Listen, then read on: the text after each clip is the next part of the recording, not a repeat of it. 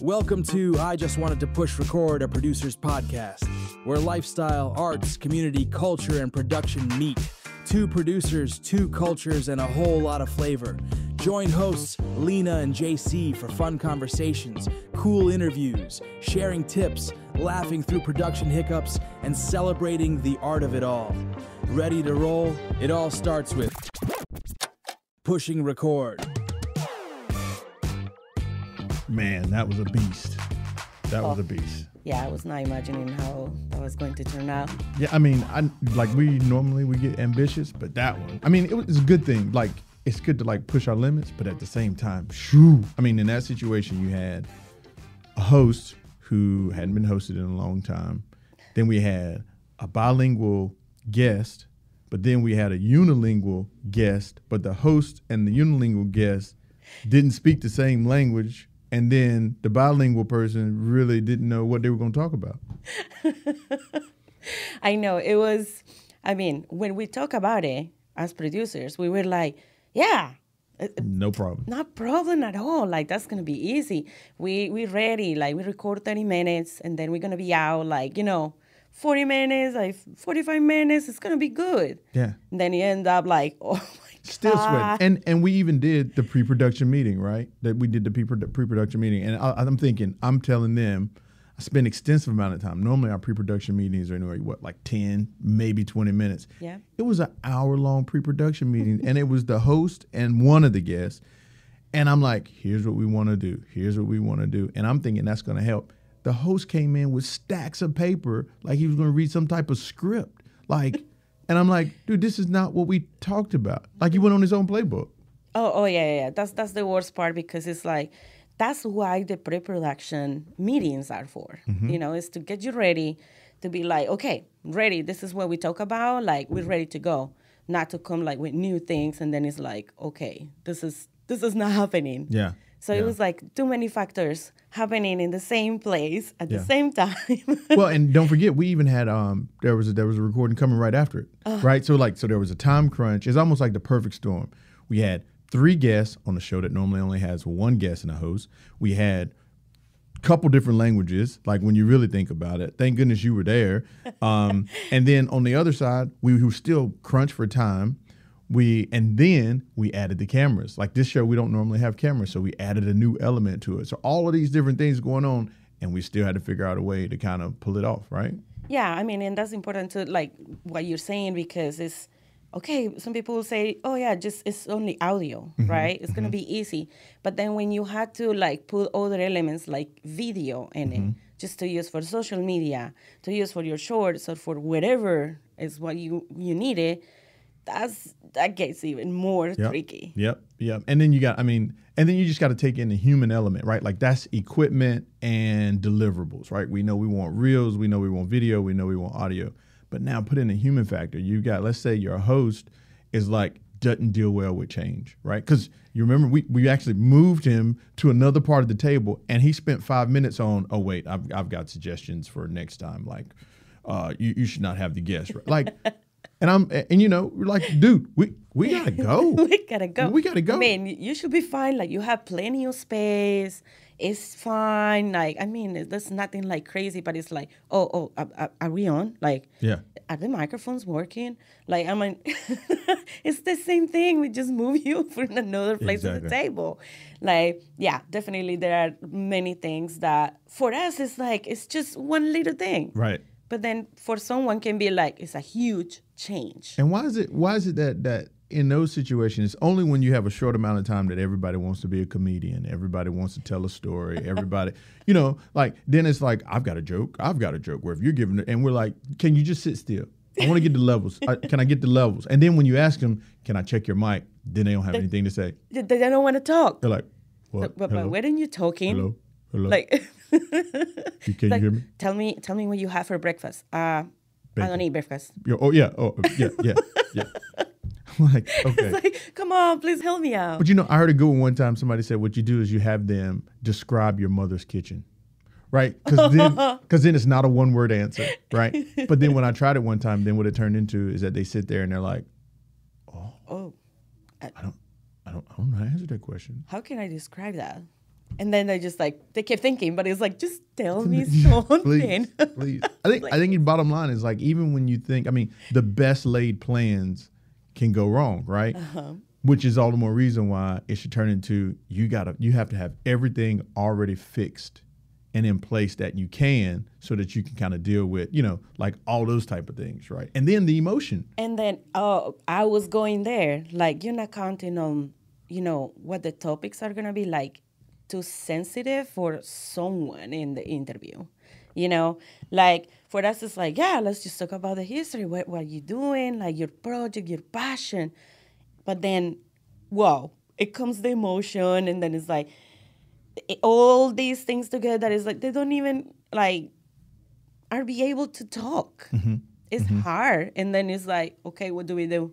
Yeah. you know, what can we do to make it better? Like we just need to wait, and then now, as a producers, then we start counting time. Right, right, right. And like I said, it was it's ambitious because here's the thing I didn't think about is, you know, even with that emotion, like all right, I know skills and stuff that like tricks of the trade I would say that I bring into right, like in moments like that. But when you're recording podcast, I think it's a little bit different, right? Like if we were doing a live television interview, which is what I'm accustomed to, well, you just don't bother. You don't sit there and say, "Hey, hey, you got to stop all that crying. Yeah. Let's just we got an interview to do, right? You just have to kind of let them get through it and either skip some questions or you know, or let Yep. have some trust in the host to be able to carry it.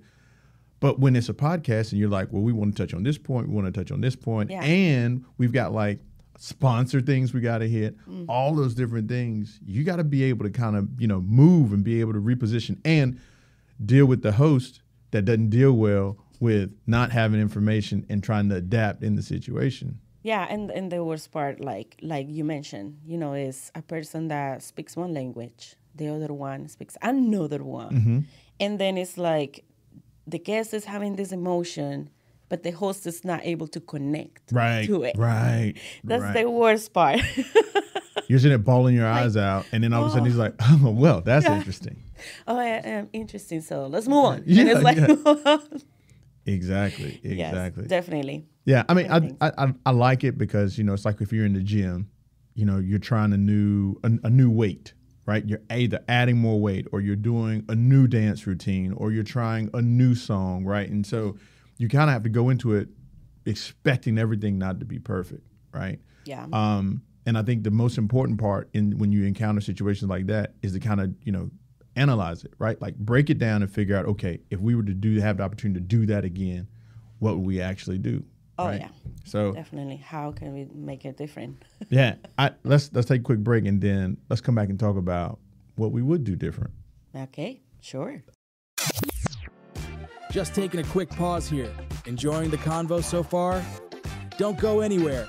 We'll be right back with more fun, tips, and stories from Lina and JC.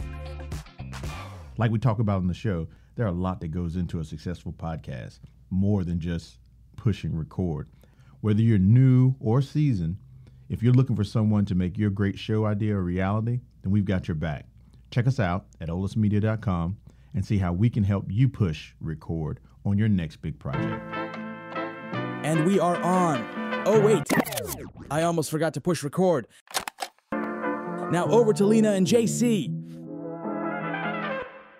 Well, we're back. This is I mean, this is cool. I like sitting down as we normally do, just talking about what we what we just finished doing, which was recording an ambitious episode of a show that had a lot of challenges from language to time to host management to guest management. Um, because we didn't even talk about one of the guests who, you know, even though he was a part of the pre-production meeting, still didn't have an outline of simple things like what's your contact information? What's your call to action? You know and trying to incorporate all those different things. And basically i like to call them spinning plates right? You know how like in the circus Yeah. they're like eventually one plate's gonna drop oh, right? Oh, yeah. it's not it's inevitable. But i think when we get to this point it helps us to be able to come up with what would we do different. Yes. so I, i'll start out with you. From what you saw and what you experienced what's one thing that you would do different Well, for me, as a bilingual, definitely, and trying to figure out like how to make it work the best possible, I would say probably include the person that speaks like the second language mm-hmm. and try to maybe figure out what is the foundation was what they're looking for in this episode. To maybe like shorten it out like you know be more punctual so mm-hmm. like that we're like okay tell me about your like you know the passion and everything and then they start saying like since they were born you Yeah, know yeah. so Yeah. i think that that will be something that i will do different I'd, I'd agree with you. I, I- yeah, I, th- I agree with you. Like the pre-production meeting only had two out of the three people that were actually going to be on the show, but it's a double-edged sword, right? Like I think what's going to be great about this episode is the raw, organic emotion. Yeah. And if they had been a part of the pre-production meeting, maybe that would have happened in the pre-production meeting, and we would have lost it in the actual episode, right? True. But then we wouldn't have off put the host. Then we wouldn't. But then it just you know. So it's like, uh, how do you do it? But I, but I at this point right now, I'd be like, I want to vote. Everybody needs to be a part of the post production meeting. That would be my number one. Nobody gets to. If we anybody misses the pre production meeting, they're not in it. we're not recording we're not pushing record That's right. That's right. That's right. I, I think that is. I, and the other thing is, I don't know if I communicated enough with the host. Right. Like, I think I, I even I, I have some guilt about just thrusting them into that situation, but not so much. Unfortunate that I was depend that I felt like I could count on him. I had the arrogance. Like sometimes you know you have that oh, confidence. Like well maybe you don't, but I do. I have that that arrogance of like oh I know this host. I know what to do for him. No problem. I can handle it. Right. yes And I actually pushed him out of his comfort zone. So I think the other thing that I would say is in in in opportunities where you're trying to do a lot more, when you're trying to be mm-hmm. ambitious, you've got to take even more time with your host to make sure that they're comfortable because at the end of the day, they're behind the wheel. Yeah. Right? If we're recording, how many times did I have to stop? Right? Like that was the other thing because all of us know that every time you stop, that means somebody has to do some editing yes right? So that's more time. That's listening. Oh, cut. Let's listen again, right? So you're you're adding up your number of production hours and the number of hands, even trying to do your time code. So I think another thing I would have done was spend more time with the host. No, yeah, I, I I agree with that. Especially like like you mentioned, it's like yeah, I know him, I know this person, I know the host, but we didn't count out that he hasn't been in the studio for a little while. Like he was losing, like you know, the momentum and all the stuff. So it's like maybe the people get again in the shell that is like, oh, okay, I don't know what to do, right? Yeah. So yeah, that definitely agree with that. Um, I will say something that it just for the audience, you know, how can you picture like you know these three people here, and then one speaks Spanish, the other one speaks English, and the other one is bilingual, but then uh, how how we manage that translation? Yeah. Yeah. in the in the in the time like that that we're recording. yeah. So yeah, I thought something. I, I think that's something I will have done different. That will be that part. Yeah. Or even logistics. Like Yes. putting us in that small window of like, we only have an hour and a half. Yes. And that is getting everybody in, get them seated, get everybody up because we went over the show rundown. We, you know, hey, do you know all your questions? You're going to be sitting here. Let's Yeah. do the audio check. Like, but we still only have 90 minutes. I probably would have allotted a minimum of two hours. Yeah. A minimum of two hours with the expectation. not feel that rush and like, oh Yep. my god, we're not gonna make it. Yep. And it's also like, okay, one part. Well, for for someone that didn't, you know, see it or like have been in this situation, it's like one person is answering a question in Spanish.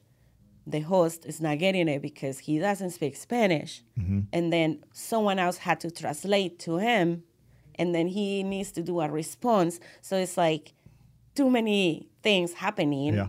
And then you're losing like also the, the sentiment, the the feeling that the person wants to transmit to the other. Yeah. So yeah, I think something that we will have to like review how to manage it better in that sense. I'm I'm excited about you know where we go when we finish when we actually put our hands on it.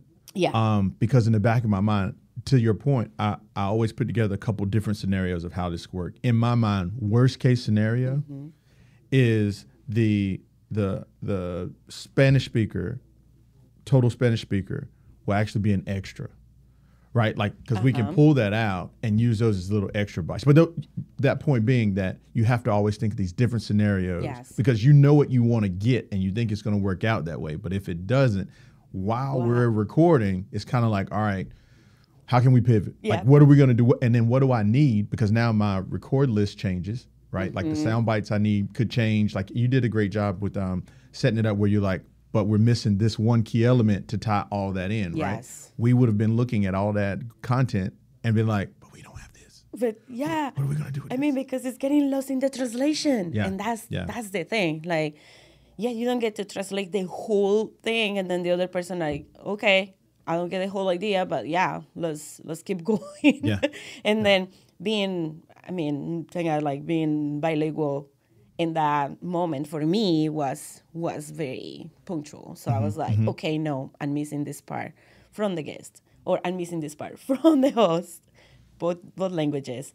But yeah, it was definitely interesting, challenging, and and I'm excited. What are we gonna do with this, yeah. JC? Yeah. Well, tell me this: if you had to do all over again, would you not do it?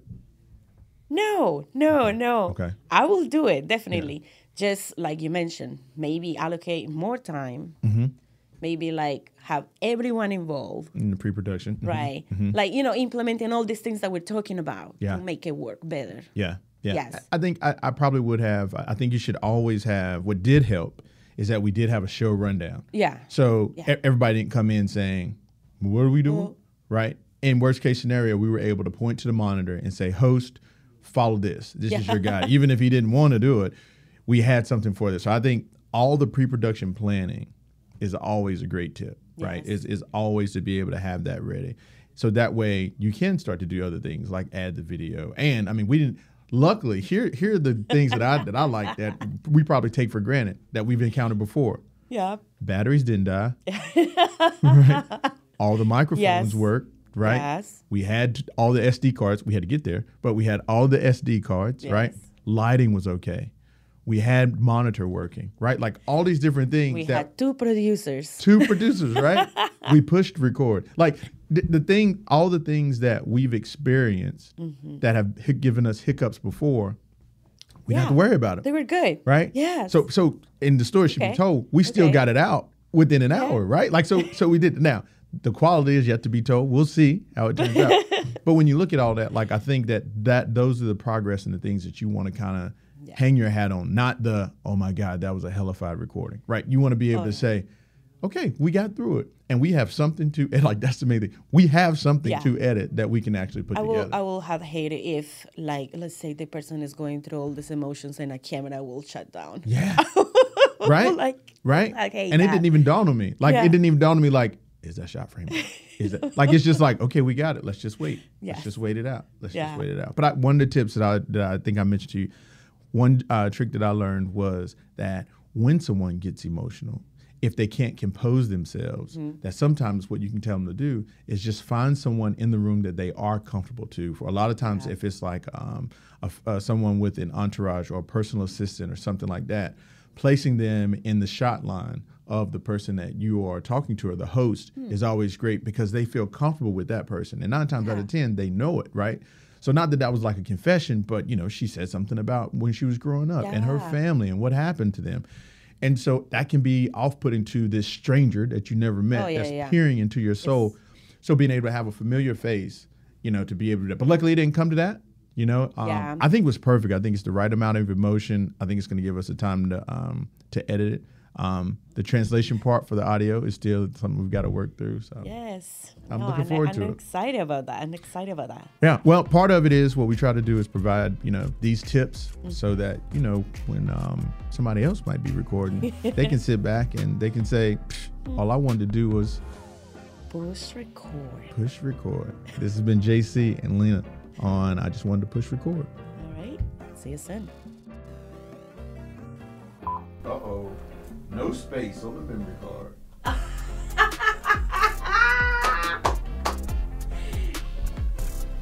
but you got this one, so we're good. We got it. We got it. Back up. Did you say back up? Back up, back up. That's wild. Thank you for listening to I Just Wanted to Push Record, a producer's podcast. Be sure to follow and subscribe wherever you get your podcasts To hear other episodes or read the associated blogs, visit olasmedia.com and be sure to follow us on Instagram with the handle Olas Media Studio. I Just Wanted to Push Record, a producer's podcast, is produced in studios in San Diego, California and Tijuana, Baja, California. Olas Media is an IVC media company. Olas Media.